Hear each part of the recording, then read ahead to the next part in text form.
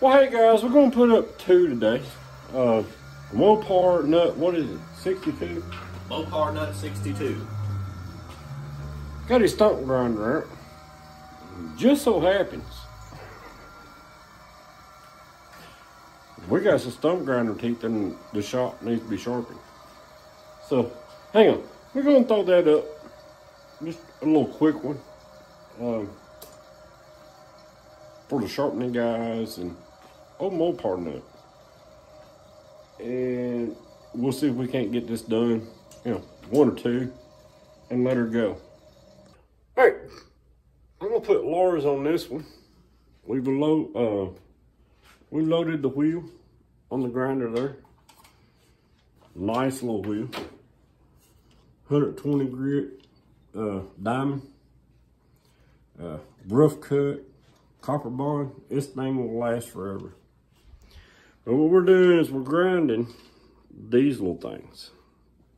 These, there's 15 million different configurations, but these are stump grinder teeth.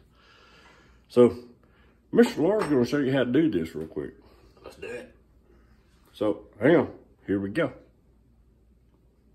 We're going.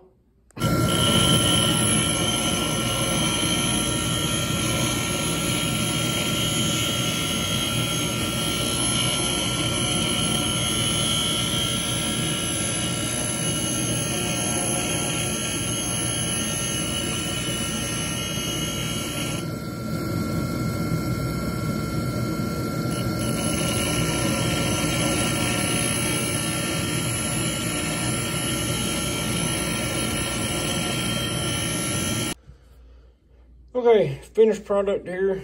Um, well, I had it there just a second ago. Yeah, he's gonna get in there. Uh, a lot of people, you really don't want to shorten the face of these unless you have to. You just want to grind off the top. You don't want to thin that carbide up, it'll bust easy. But there you go. Stump grinder teeth. 101, 102, 103 and 104. Um, there you go. Just found it ironic that uh, Mopar Nut 62 pulled out a stump grinder and I had these stump grinder teeth in here to sharpen. so thought we'd throw that one up, just, you know, horsing around. And uh, Mr. Lars done a pretty good job. Yeah. I tried. Heck yeah, though, Mopar Nut, man. It's cool seeing an old, you know, stump grinder like that still going. Keeping them old machines alive, man.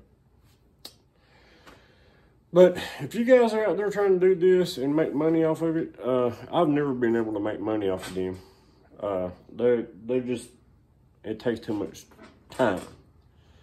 But if you got two or three automatics running, and got time to stand there and play with it, it's just extra money.